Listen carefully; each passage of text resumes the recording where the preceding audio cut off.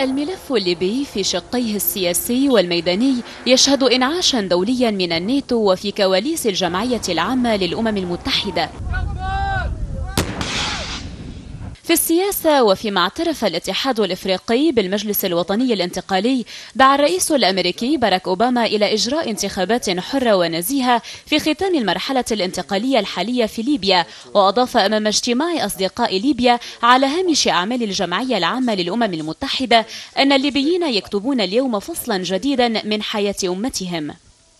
Today the Libyan people are writing a new chapter in the life of their nation.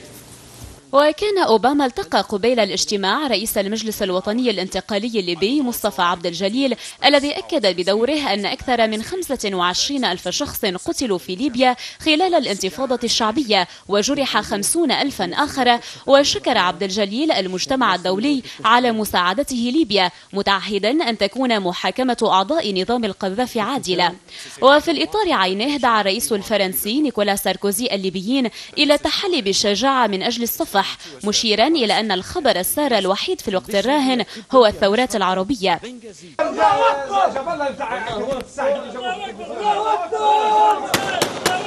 في الميدان يواصل الثوار الليبيون معاركهم مع قوات العقيد معمر القذافي في معاقله الأخيرة حيث يعتقد أن بعض أبنائه يختبئون فيها أي سرت وسبها وفي بني وليد حيث يبدي مقاتلو القذافي مقاومة عنيفة ويتراجعون. الثوار أكدوا أن قوات القذافي تتخذ المدنيين دروعا لذلك يعمدون إلى التقدم ببطء وفي شكل آمن كما أحكموا طوقهم على سرت وهم يحاولون خصوصا ضمان أمن الشوارع الرئيسية للسماح للمدنيين بمغادرة المدينة فيما سيطروا على المناطق القريبة منها. وفيما شهدت مدينة بني وليد كرا وفرا ومعارك ضارية أكد مقاتلو الانتقالي أنهم يسيطرون على مجمل مناطق سبها. من جهته وصف الزعيم الليبي الفار معمر القذافي الأحداث الجارية في ليبيا بأنها مهزلة.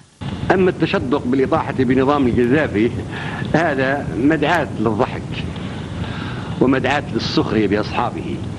ولا تصدقوا بأن هناك نظاما وهناك نظام فرض على الشعب الليبي بالقصف الجوي والبحري. هذه مهزلة شرعيتها معلقة في الجو مع قنابل طائرات الناتو التي لن تدوم.